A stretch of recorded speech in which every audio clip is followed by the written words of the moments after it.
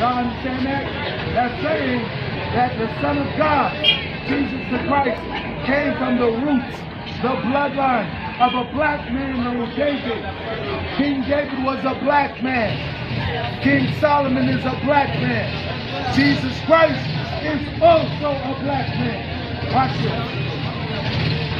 Hebrews chapter 7, verse 14. Listen to the Bible.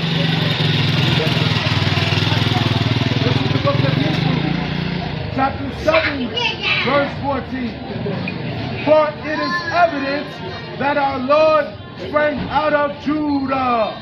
For it is evident that our Lord sprang out of Judah. What tribe did Jesus come from?